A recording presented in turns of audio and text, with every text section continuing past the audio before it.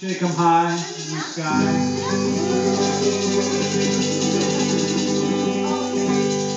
All right, good news, everyone. It's time to sing Happy Birthday, Cha Cha Cha.